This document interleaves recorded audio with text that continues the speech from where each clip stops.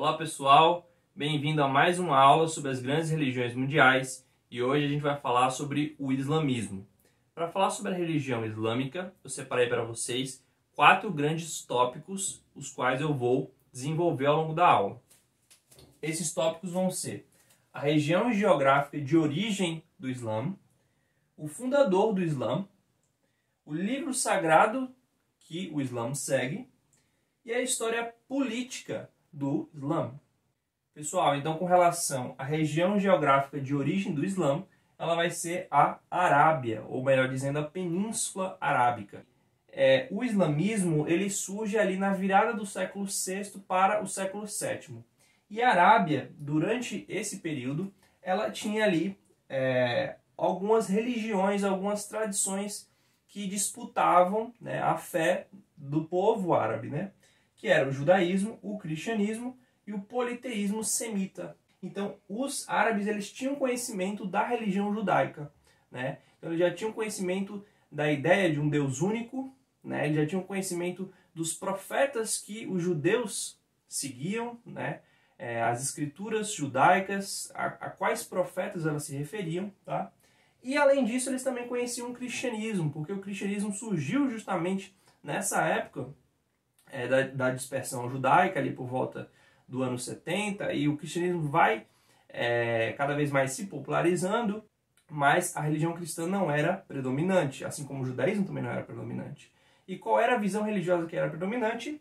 O politeísmo semita, tá, pessoal? Essa palavrinha semita, ela está designando então todos aqueles povos que têm uma origem comum, que são chamados de semitas. Então entra aí os fenícios, os sírios, os árabes, é, os próprios judeus. Então todos esses povos, eles são chamados de semitas. E os semitas, com exceção dos judeus, eles eram politeístas, tá?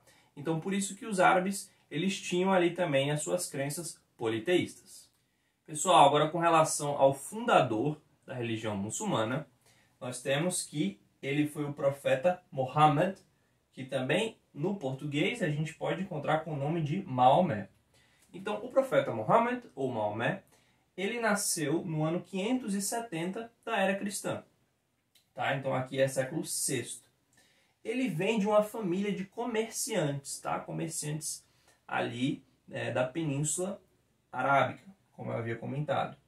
E quando ele chega é, aos 25 anos, ele vai ter a sua primeira esposa. Ele vai ser um profeta que vai se casar mais de uma vez. E a primeira esposa que ele teve se chamava Hadidja, tá? Hadidja. E depois do ano 600, ou seja, já entrando agora no século VII, o profeta Muhammad vai começar a ter a sua revelação. Deus vai começar a se revelar para o profeta Muhammad. E como que acontecia essas revelações? Ele basicamente se isolava do mundo em uma caverna, em uma gruta, ali na Península Arábica, e ali naquela, naquele local, ele recebia a visita do arcanjo Gabriel. Veja que esse nome, arcanjo Gabriel, vem do judaísmo, vem do cristianismo. Então, ele já de alguma forma conhecia a religião cristã, a religião judaica, e ele associa então esse anjo que vem comunicar com ele com o arcanjo Gabriel. E esse arcanjo, ele teria mostrado para o profeta Muhammad um livro. E Muhammad não sabia ler. Mas aí o, o arcanjo Gabriel insiste que Muhammad leia e ele começa a tentar ler e ele consegue ler. Ele vai lendo o que está naquele livro. Em 622, Maomé ele vai fazer uma migração. De onde? De Meca para Medina.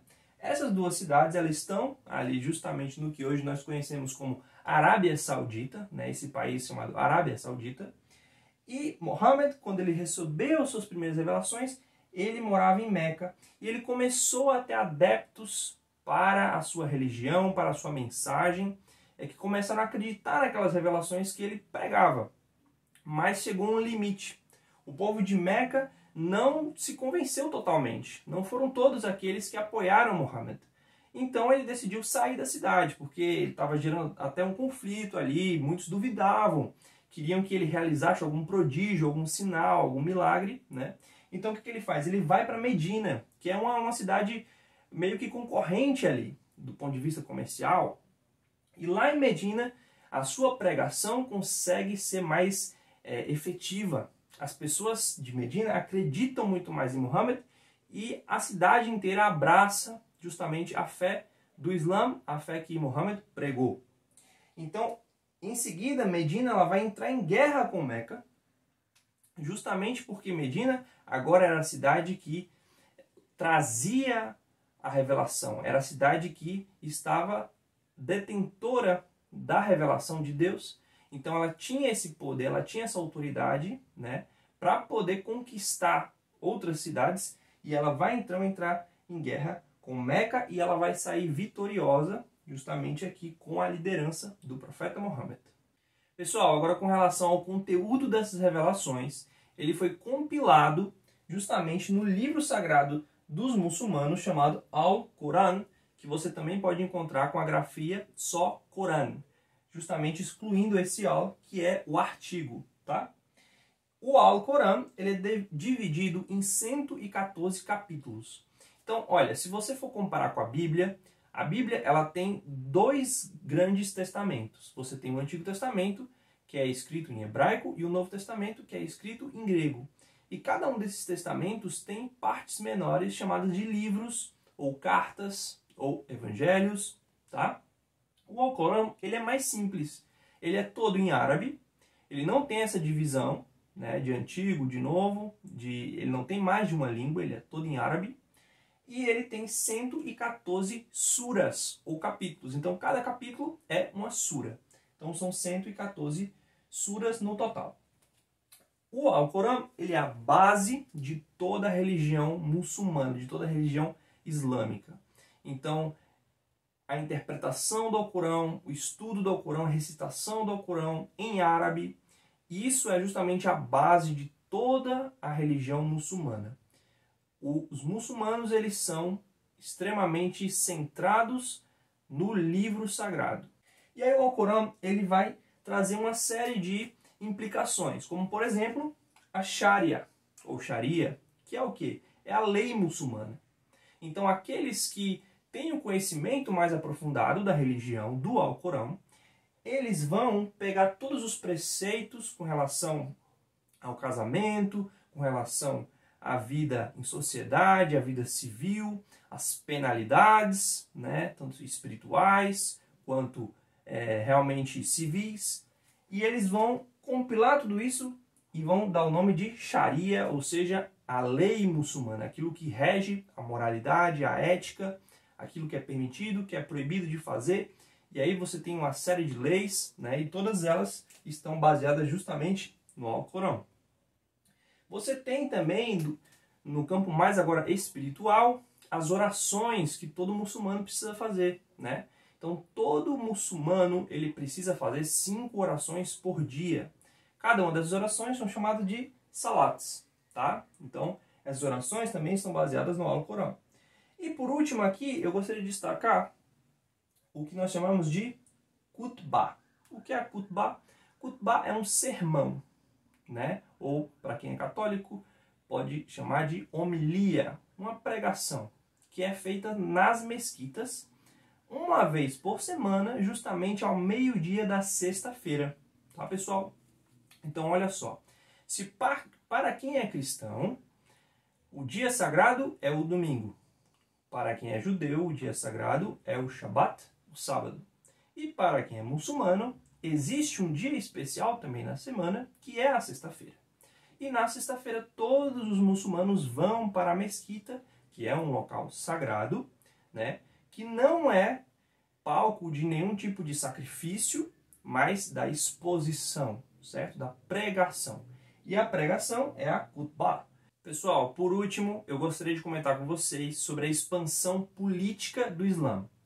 Para vocês terem uma base do que eu vou falar aqui agora, vocês precisam entender que quando Mohammed se torna líder espiritual, profeta, né, enviado de Deus, ele também se torna aquele que é responsável pela organização da sociedade muçulmana, pela coordenação, pelo governo da sociedade. Então ele se torna um califa, tá? Então você precisa ter em mente esse conceito do califado. O que é o califado? É justamente a região geográfica que a gente poderia chamar de império, que é dominado por um líder religioso e político ao mesmo tempo. Então, Muhammad, ele é o exemplo de califa, ele é o primeiro califa. Falando agora sobre os califados que existiram ao longo da história muçulmana, a gente tem quatro grandes califados e por último a gente tem o Império Otomano, que também pode ser considerado um califado, o último califado, tá? O primeiro califado foi o califado ortodoxo. A palavra ortodoxo significa reta opinião ou reta doutrina. Então, o califa ortodoxo é aquele que estava ali no começo, estava ali junto de Muhammad, é aquele que conheceu Muhammad, é aquele que estava é, ligado intimamente ali com o profeta. Tá? Então, vão ser parentes ali muito próximos do profeta. Vão ser quatro os califas ortodoxos. E eles vão expandir o califado de forma bastante grande. E aí, logo em seguida, vai ter uma disputa dinástica. Que é uma dinastia, é uma casa real, é uma família que se perpetua no poder. E que, no caso aqui, os Omíadas, que eram uma dinastia da Síria, tá? É, que governavam a partir da sua capital, Damasco, eles vão reivindicar esse título de califa, vão ser os primeiros a reivindicar esse título, né? Porque tinham ali um, um certo grau de parentesco, inclusive um dos califas ortodoxos era Omíada, tá? E aqui você precisa notar que existe até a própria divisão entre sunitas e xiitas, já parte a partir daqui, né? Então, os Omíadas, eles já se desvinculam da linha sucessória que seria mais próxima do profeta Muhammad, e essa linha vai continuar sendo defendida pelos xiitas, enquanto que os sunitas, eles não dependem, né, não acreditam que a linha do califado precisa ser só aquela primeira ali de, de um grau de parentesco mais próximo com Muhammad, tá? Em seguida, nós vamos ter a dinastia dos Abássidas, né? Os Abássidas, eles vão ser califas que vão governar a partir da Mesopotâmia, que hoje nós conhecemos como Iraque. Lá na Mesopotâmia, ou Iraque, você vai ter a cidade de Bagdá. E Bagdá então vai ser a capital do califado abássida, tá bom? Em seguida você vai ter os Fatímidas, que esse nome Fatímida vem de Fátima, que era justamente o nome de uma esposa de um califa ortodoxo, né? a esposa de Ali, que foi o último califa ortodoxo. Né?